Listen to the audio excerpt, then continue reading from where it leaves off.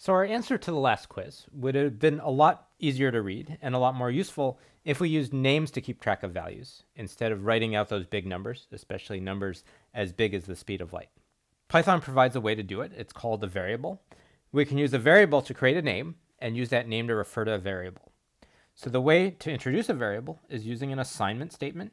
And an assignment statement looks like this. We have a name followed by an equal symbol followed by an expression. After the assignment statement, the name that was on the left side refers to the value that the expression has.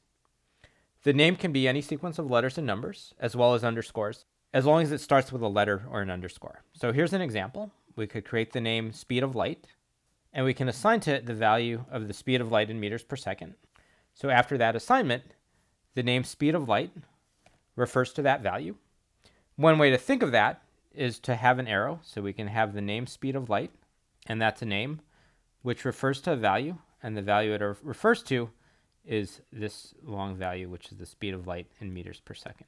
So once we've done the assignment, we can use the name, and the value of the name is the value that it refers to. In this case, it's the speed of light in meters per second. So let's try that in the Python interpreter.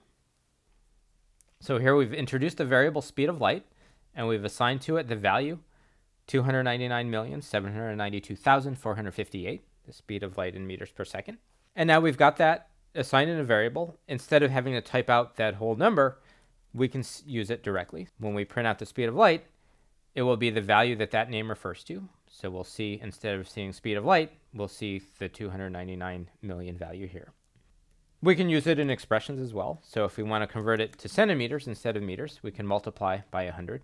And now we see the result is the speed of light in centimeters per second. So let's define another variable.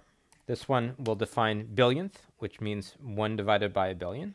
That's hard enough to remember how many zeros to type, so it's nice to have that in a variable. And now we could define nanostick, which is the length of Grace Hopper's nanostick, as the speed of light times a billionth. That would be the length of the nanostick in meters. If we want it in centimeters, we can multiply it by 100. And so now we've defined a variable, nanosec, which is the length light travels in a nanosecond in centimeters, and we can print that out. So variables are really useful. They're going to make our programs a lot easier to understand. They also mean that we can use the same expression, changing the values of the variables to compute different things. So now it's time for a quiz to see if you understand variables.